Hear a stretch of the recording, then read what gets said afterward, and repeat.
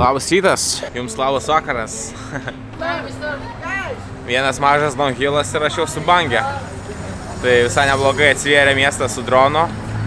Ir labai, nu, tarsi, norėčiau sakyti mažytis miestas, bet turbūt gal iš žemėlapio, iš žemėlapio atrodo kaip kaimelis, o gyventojai turbūt kaip Kaune. Nu, Kaunas, visi, visi Lietuvos miestai yra kaimas palyginus su čianais. Vilnius toksai vidutinis kaina, e, kaimas yra e, Indonezijai, turint omeny, kad Džakarta 10 milijonų, Vilnius kiek, pusę milijono, nu tai toks village. tai šiandien uh, traukiam pagaliau, nu ne pagaliau, traukiam palei, sakykime, horizontalę, nebe vertikalę. Išilgai salos dabar važiuosim, tai ir sukilimo bus kur kas mažiau. Jau! Nesureagavo. Nu jo, teoriškai turėtų būti biški lengviau minti, bet paskutinės dvi dienas tikrai patiko. Tie kalniukai tokie stiprus ir nusileidimai faini. Buvo faini. Bet jei reikėtų vertinti Norvegiją ir Indoneziją, tai vienareikšmiškai Norvegija nudaužė Indoneziją ant sukilimų, ant kalnų ir panašiai. Nes Norvegija visa visa kalnuota. O čia tik tais, čia kur susikerta tektoninės plokštės kur tektoninės plokštės susikerta, ten iškyla kalnai, ugnikalniai ir panašiai. O visur kitur sala pakankamai lygi, tai jeigu taip vertinant tą atkarpą, man praminti visą visą Norvegiją nuo Nordkapo iki, iki Oslo palei pakrantę prireikė trijų mėnesių. Trys mėnesiai Dabar galvoju apie kilometražą, kiek aš Norvegijai numiniau. 6 ar 7 tūkstančius, tai nu, ten buvo kur kas sunkiau. 20, 20 minučių ant kelio minant ir iš Subango išvažiuota. Sakau, nedidelis miestas. Dabar čia kaimelį prasideda. Žmonės gyvena ant gatvės, nu, kiti ir turi namukus. Jaučiu, jeigu ir aš čia pasistatyčiau namuką, tai aišku, jeigu tas namukas ne kažkieno teritorijoje ir galėčiau gyventi. Nei mokesčių nieko. Įsitraukiu va ST komplektuką ir girdai žmonės. jo, tokia liūdna tiesa, kaip, kaip yra. Bet kadangi čionais yra nu, šeima didžiulė vertybė ir žmonės iš tiesų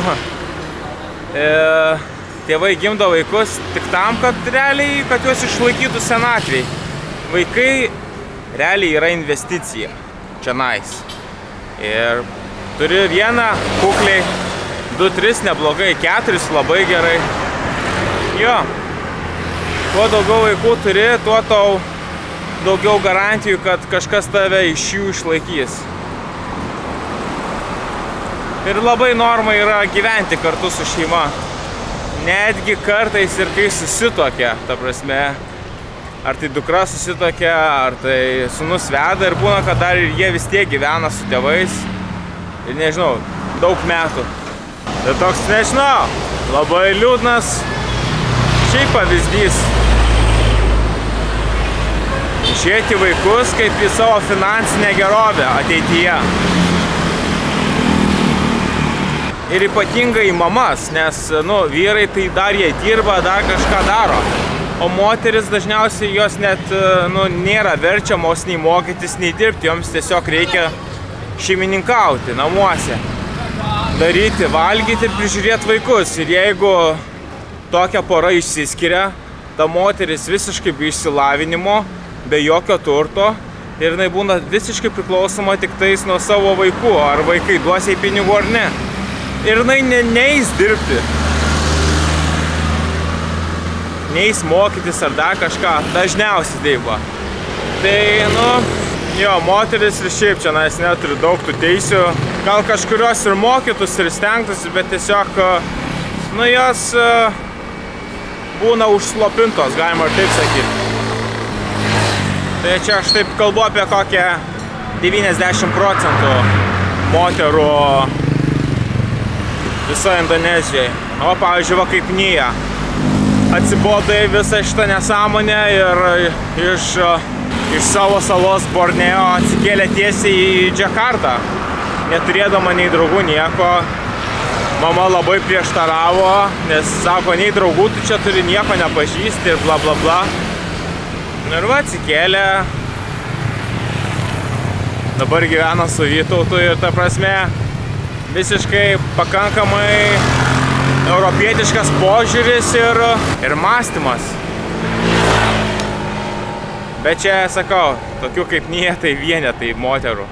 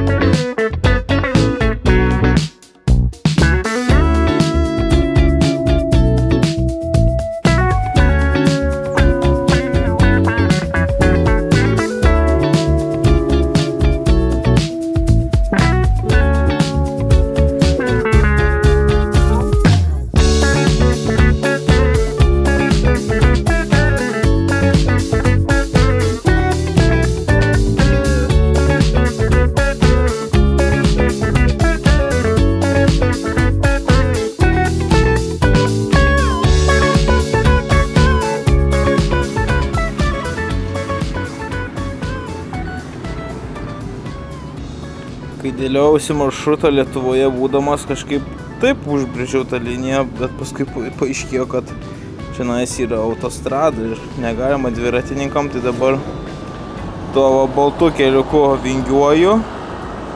Jis beveik paraleliai varo palei, palei autostradą. Biški čia yra tokių nukrypimų, bet bendrai tai labai lygu, va tokie ryžių laukai, visokios plantacijos, biški ir kaučiuko buvo. Tai saliginai kol kas lengva dienelė.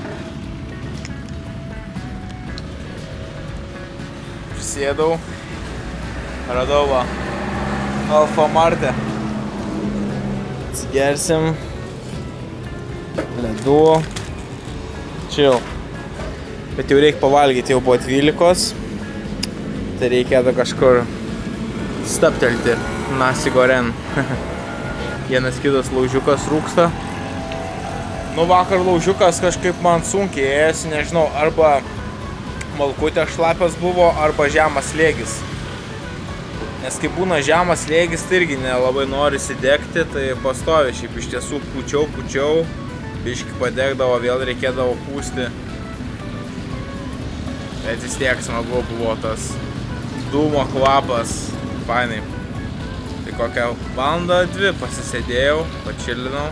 Ir uodų nebuvo, dūmai, dūmai visus uodus išvaikė, tai super.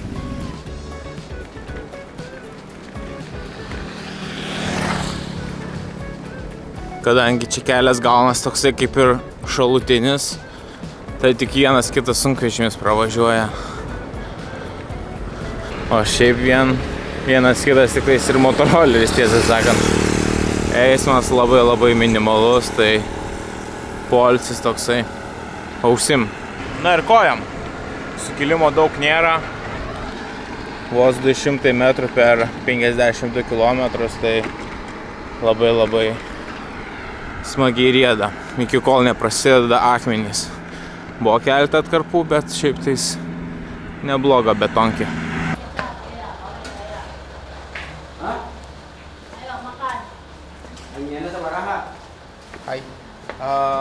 One nasi goreng. Apa nasi nasi goreng? Nasi goreng. Ada. Oke.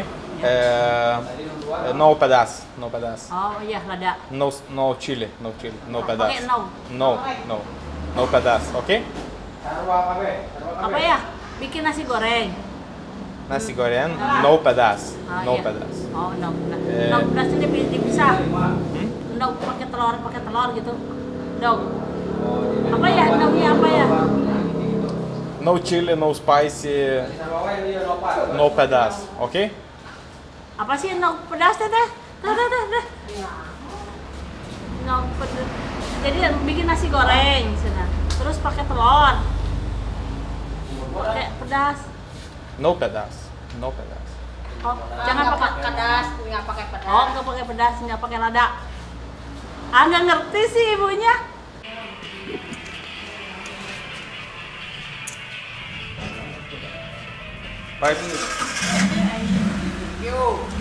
Nu va, kartais būna, kad žmonės net ir savos kalbos nežino.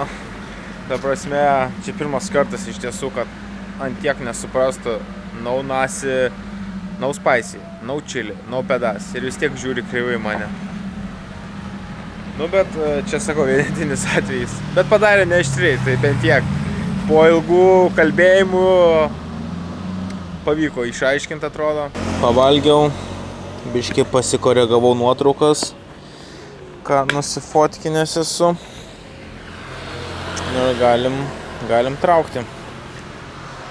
Dar nulyjo, tai laiku, buvo debesiukas, laiku pasidėjau viduj. Ką čia turiu šiandien penkis, nu tai dar gerą valandėlę pusantros ir bus ok man. Na, po tikausi ramaus važiavimo vėl iššokau į kelią. Čia ne autostradinis, bet vadinasi šitas penktas kelias. Jo, penktas kelias ir privažiavau tėčio miestelį. Tomo. Tomo miestelis. Mano tėtis Tomas tai.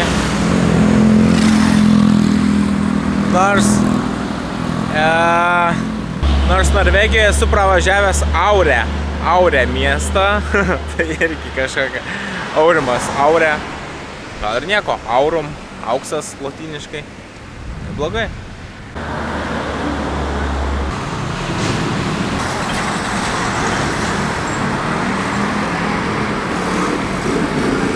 Džiavinau, džiavinau maikę, kad išgaruotų mano prakaitas. Ir pradėjo lyti. Tai tiek iš to džiavinimo. Nu nieko, išdžius vis tiek. Bet jau viskas, viskas nublokė, ta prasme va, ant kiek matosi. Aišku, druska, prakaitas drus, ta prasme, prakai, žodžiu, druska ir saulė duoda savo. Prakaitas ir saulė duoda savo. Praranda bet koks rūbas spalvą. O, kokie laukai. Tik statyk palapinę. Tuo 9 kilų. Judam link Cirebon. Rytoj pasieksiu. Šiandien tai be šansų, bet rytoj jo. Tas debesėlis toks neaiškus, čia ateina, nueina. toks motininis. Na autostrada jokių motorolerių, jokių dviračių, jokių samadėlkų, kitaip tariant. Jo. Ok. Nepaisant, kad saloje apie 148 ar 107 milijonai gyventojų, nu, vis tiek daug teritorijos Džiavo yra lygi. Kur lygi teritorija, ten potencialu kažkur stovyklauti. Tai keista, bet atrodo, bent jau man asmeniškai atrodo, kad čionais yra lengviau susirasti nakvynės vietą negu Sumatroj. Iš kitos pusės aš jau ant dviračio daugiau nei du mėnesiai, tai biški prie kultūros pripratau, prie jų specifikų ir kur geriausiai ieškoti nakvynės. Tai tas irgi duoda šiokios tokios patirties ir gal dabar sakau, kad lengviau. Bet jeigu būčiau pradėjęs keliauti nuo Džiavos, gal irgi čia nais straglinčiau, skūščiaus ir panašiai. ne, nu, Džiavoje atrodo žmonės tikrai biški, biški supratingesni, e, kas liečia mano stovyklavimą. Tai aš to ir patenkintas. Man tik tiek ir užtenka, kad tik ramiai būtų viskas. nu, pavyzdžiui, šiandien naktis tai žiauriai ramiai buvo. Ryte vienas vyrukas ėjo, ne pusę žodžio praėjo ir nuėjo. Tai labai labai ramiai šiandien naktį išmėgojau. Pažiūrėsim kaip dabar. Man atrodo, ateina tas debesis. Tiksliau, aš jau po juo esu. Nu, bandom, bandom ieškoti čia, kur mėgosim. Pamatysim, ar pasiseks ar ne. Ok, galim bandyti čia važiuoti arba tenais. Laužas dega. Čia va pabandau.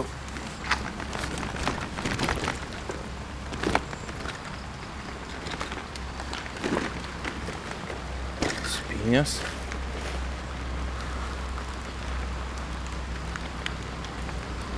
Ok, ok, važiuojam, važiuojam. Narveliai.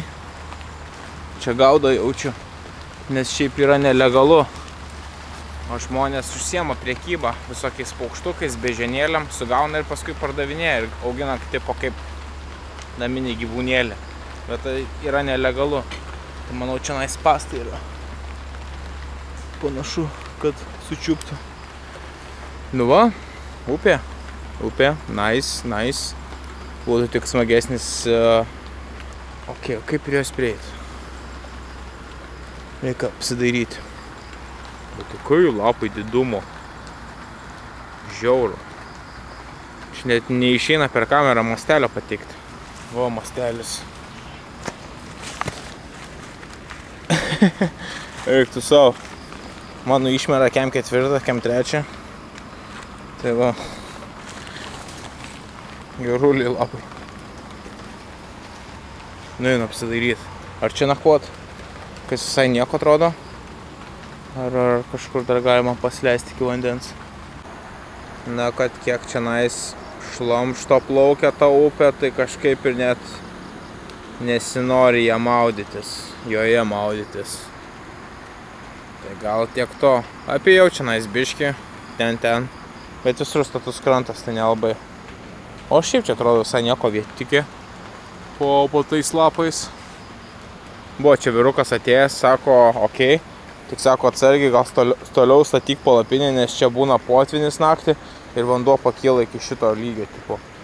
Nu, aš nelabai noriu tikėti, nes čia ta prasme yra, nu, kokie 2,5-3 metro iki vandens, tai jeigu tiek pakils per naktį, tai bus tikrai įdomu. Plius pirmą užlėtų tuos laukus ryžių. gal šiaip žmogus čia perdeda Bet manau ok. Manau čia nais ok. Ir nėra jau spėjau biški laiku. Be 15.6, tai va, dar turiu apie 20 minučių. 96 kilai, not bad. Jo, ta prasme, kas va, čia kažkoksai maišas, ne maišas.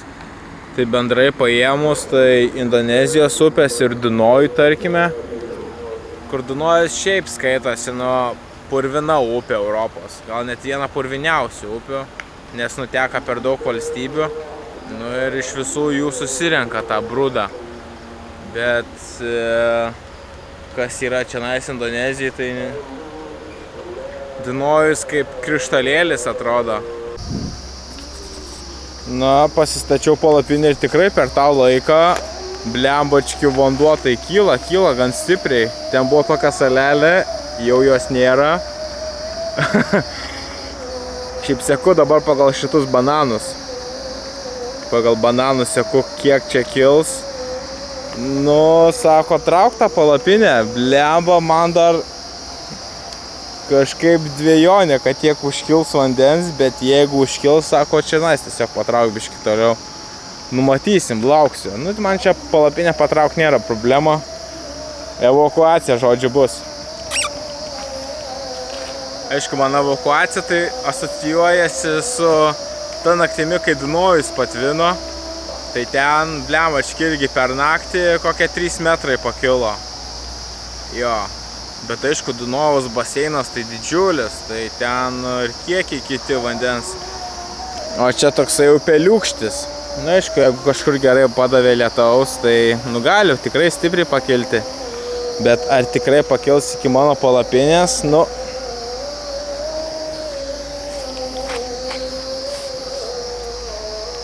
Nežinau, nežinau.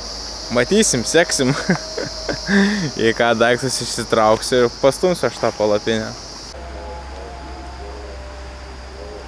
Nu, man atrodo, apstotas uh, kilimas vandens, jo srovė tai didelė. Nu ir šiaip aš esu, pavyzdžiui, aukščiau arba net tam pačiam lygi su šitų namukų kitam krante, tai nemanau, kad tas namukas užliejamas būna. Nu, klausimas. Bet dabar, nu, seku, tą lygį vandens. Bet jam iki manęs dar šiandien 2 metrai, tai užsimerkus. Nu, jei tiek kils, tada tikrai reikės palapinę traukti, bet žiūrim, laukiam. dar nėra vėlų, dar tik po šešių. Ten hebrytė sėdi. Sako, eik tenais kažkur. Ne, ne, sakau, man čianais labai gerai. Prie upės, po lapais. Nėra tai blogai. Sakau, SAMU sandyrį. Nu, tipo, palikite mane private. Ok, ok, sako. Nes jie nenueitų niekad. Čia ir stovėtų. Jau stovėtų kokią valandą, 2, 3, 4 ir žiūrėtų, ką veikia ir nenueitų. Jie neturi ant to su, supratimo. Turi jiems pasakyti, kad nori likti privačiai ir tada jo, ok. Jiems reikia viską paaiškinti, nes ir nie sakė, pas pas, pavyzdžiui, mokykloje, niekas nemokino manierų ir tėvai nemokino manierų, ta prasme, nėra jokio to supratingumo. Tai sako, tu tiesiog turi būti nuoširdus su jais ir pasakyti, ko tu nori. Ar tu nori, kad jie išeitų, ar tu nori, kad jie ateitų, nes jie to nesupras, jie neturi to mums įprasto tokio supratingumo. Todėl gal gal mums ir skamba labai naglai, kad, tipo, prašau, palik mane privačiai ramybėj, nežinau. Bet jiems čia viskas ok. Atvirumas, nuoširdumas, pasakymas, ko tu nori, viskas yra good su tom. Nu, tuoj 10. Galim pasižiūrėti, kaip čia tas potvinis. Ar tikrai jisai čia yra, nėra. Udų kaip ir nelabai yra. Nu, gal čia vieną kitą reikės dar išsimušti.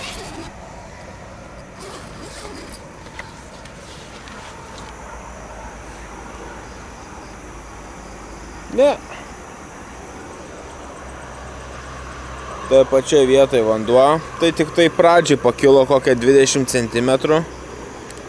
Realiai ir viskas. Tuom pasibaigė. Jo. Tai daugiau ir nebepakilo. Nu jo, tai ta prasme, kad tiek pakiltų 2-3 metrus vanduo, tai turi lyti visą dieną, o ne, o ne pusvalanduką. Tai kaip ir, okei, okay, galime eiti miegot saugiai. Ten va, šviesus dega, buvo dar viena kompanija atėjus, paklausinėjo biški, bet neužsibuvo. Jo, kad tiek pakiltų, tai tada atsimenu, kad buvo Dunojus pakilo, tai ir taip tenais buvo, kad visą naktį kalė, bet taip ruožais. Žodžiu, stipriai visą naktį lyjo. Ir tada atsimenu, ryte pradėjau plaukti, jau ryte prasidėjo tas toksai palaipsniui kilimas. Ne tai, kad per vakarą bum ir pakilo per valandą dvi, ne. Realiai kilo visą dieną. Tai per visą dieną nuo ryto iki vakaro ir sukilo tenais 2-3 metrai, gal net dar daugiau. Plius kaip baseinas didelis, tai iš labai daug kur suteka vanduo nuo kalnų. Ar šiaip miestų. O čia nais tai kalnų, kad nelabai aplinkui daug yra, kad šitą tokią upytę greitai čia užsitvindytų. Jo, tai tada einu ilsėtis. Ačiū, kad buvot, kad žiūrėjote. Čiau.